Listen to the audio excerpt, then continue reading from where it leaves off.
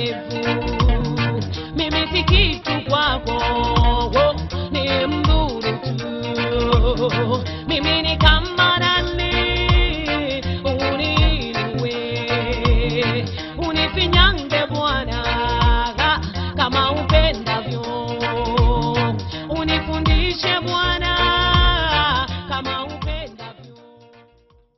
Wapenzi watazamaji wa KB Online TV, kinachoendelea hapa Gairo ni tamasha la uimbaji. Tamasha hili limeandaliwa na malkia wa muziki wa injili nchini Tanzania, Rose Muhando, na katika tamasha hili yeye amekusudia kabisa kuzisapoti kwaya za Gairo.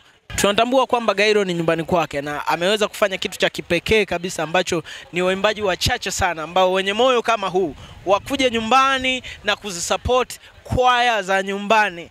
Yeye mwenyewe amezungumza kwamba hapa ndiyo nyumbani kwake na ndiyo sehemu ambayo chimbuko la huduma yake limefanyika hapa Gairo.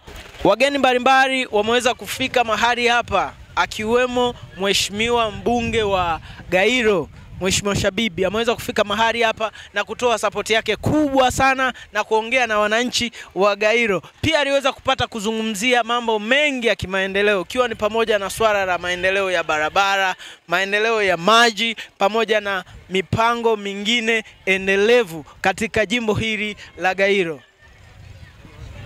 Mradi wa kwanza ambao tumesaini ni bilioni nane na milioni mia nane. Huu tumesha saini na tayari mkandarasi yuko kazini kutokea Masenge, Muheza, Ititu, Kisitwi, Lubeho, Luhaji, Kuipipa, Msingisi, Gailo, Chakwale, Kibedia, Madoa.